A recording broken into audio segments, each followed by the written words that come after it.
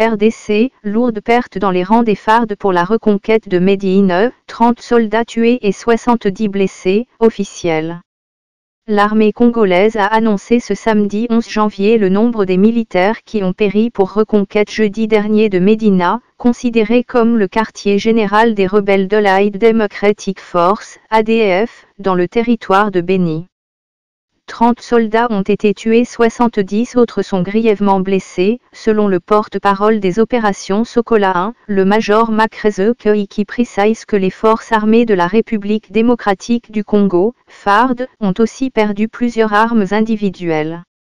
Le parti politique d'Adolphe Musito Nouvel Élan a saisi officiellement le gouverneur de la ville de Kinshasa pour la marche de deuil et d'indignation projetée le 17 janvier prochain, initiée par Martin Fayulu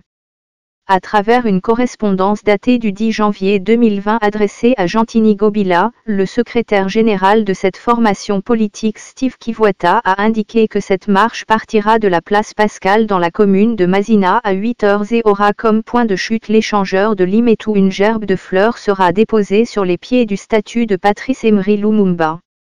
selon le président de l'engagement pour la citoyenneté et le développement, ESID, qui avait lancé cet appel lors de son discours à la nation, la manifestation du 17 janvier a pour but de pleurer les populations tuées dans l'est du pays et de dénoncer le plan de balkanisation de la RDC.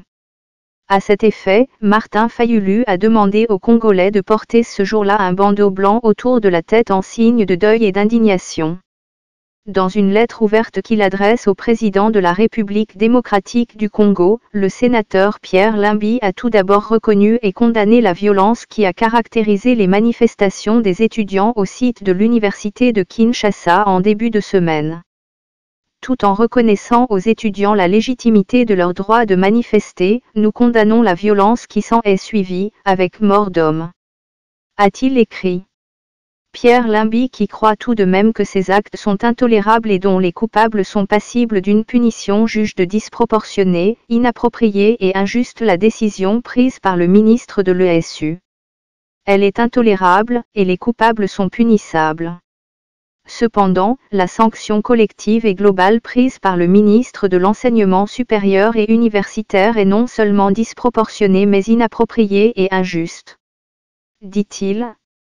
cette décision qui consistait à la fermeture et au déguerpissement de tous les étudiants des Homes de l'Uniquin condamne aussi les innocents estime le sénateur Pierre Limby.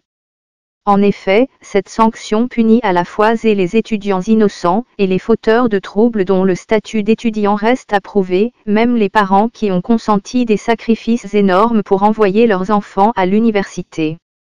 Poursuit-il. Comme cela a été constaté, le comportement de la majorité des étudiants était pacifique. Il est donc inacceptable que cette majorité soit punie à cause d'une infime minorité de fauteurs de troubles alors qu'il n'a pas été établi que ces derniers aient le statut d'étudiants régulièrement inscrits dans cette université. Il invite le gouvernement à rétablir l'ordre public tout en privilégiant l'équilibre entre la sanction et le dialogue avant de rappeler que par le passé, entre 1985 et 2000, il a été procédé à des fermetures intempestives des établissements de l'enseignement supérieur et universitaire qui ont causé des dommages incommensurables dont notre enseignement porte, encore aujourd'hui, les stigmates raison pour laquelle nous en appelons à votre responsabilité, en tant que garant du bon fonctionnement des institutions de la République de veiller à ce que cette fermeture ne se prolonge au-delà du temps strictement nécessaire pour le rétablissement de l'ordre public. Le ministre de l'Enseignement supérieur et universitaire doit fixer une date précise de la réouverture de l'université de Kinshasa et la reprise du dialogue avec les étudiants pour éviter de perturber, si pas de perdre l'année académique a conclu Pierre Limby. Salutations à Papi Gentolobi Lavi. Au cours de sa conférence de presse tenue ce samedi 11 janvier 2020 à Kananga au Kasaï central, le professeur André Mbata est resté ferme sur ses précédentes déclarations, expliquant que l'ancien président de la République démocratique du Congo Joseph Kabila n'a aucune possibilité de revenir à la tête du pays. D'après Mbata, l'autorité morale du Front commun pour le Congo ne peut revenir à la présidence que s'il est capable de mourir, ressusciter le troisième jour avec une nouvelle identité. Il, Joseph Kabila, est notre sénateur à vie, il ne reviendra pas comme président de la République. Parce qu'il y a une petite condition à remplir, il a toutes les chances de rentrer comme président de la République à une petite condition, s'il était capable de mourir ressuscité le troisième jour avec une nouvelle identité, a-t-il déclaré. Le constitutionnaliste ajoute qu'il y a une vie après la présidence, qu'on le laisse tranquille, il n'appartient plus au PPRD, c'est le peuple qui a dit que l'ancien président est sénateur à vie, qu'on lui donne le temps de se promener.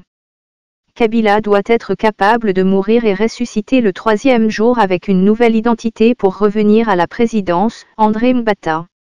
Uniékin, le gouvernement décide de ne pas changer les frais académiques à la base des troubles entre étudiants et policiers les dernières manifestations des étudiants de l'université de Kinshasa n'auront rien apporté. Les frais académiques fixés par le ministre de l'Enseignement supérieur et universitaire, ESU, à savoir 490 000 FC et 485 000 FC respectivement pour les classes de recrutement et les classes montantes seront maintenus parce que validés par toutes les parties prenantes dont les délégués des étudiants. C'est ce qui est dit dans le compte-rendu du Conseil des ministres tenu vendredi 10 janvier à la Cité de l'Union africaine sous la présidence de Félix Tshisekedi. Salutations à Papi Gentolobi Lavi.